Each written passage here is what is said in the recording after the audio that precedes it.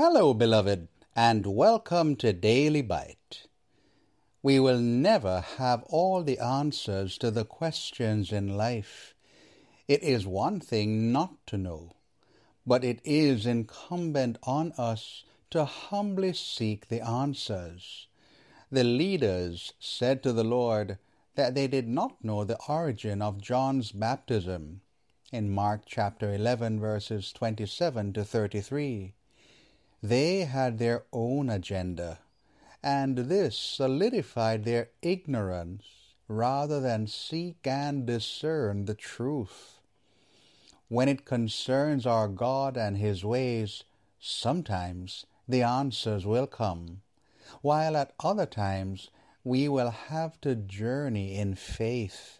However, our faith lives does not equate to laziness we should actively seek to gain the answers to our system of belief and understand the development of doctrine and creed.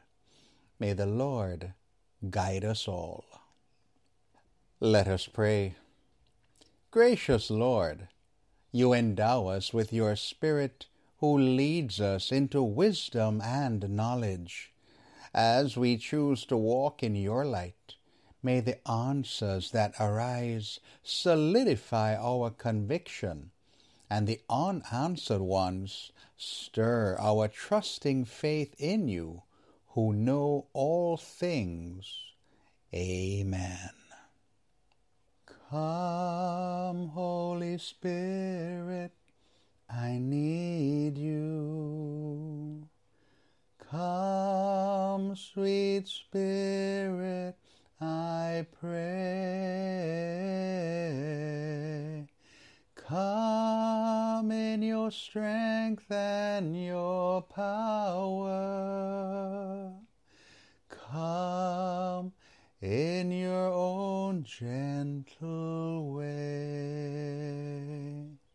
Come, Holy Spirit, I need you. Come, Come, sweet Spirit, I pray. Come in your strength and your power. Come in your own gentle